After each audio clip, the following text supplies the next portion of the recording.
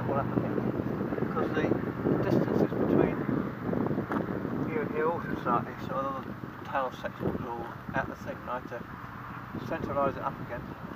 Wow. And it's slightly pissed as well, you can see the tail's going a bit that way. But will it fly? Oh, of course. Excellent. Well, it'll get off the ground.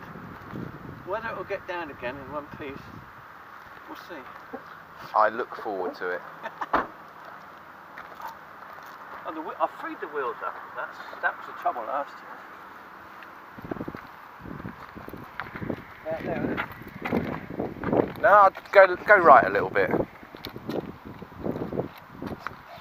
Yep.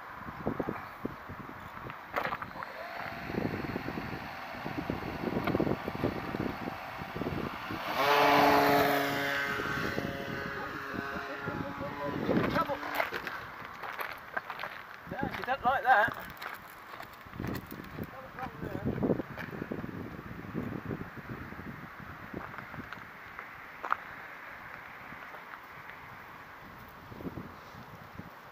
Epic fail.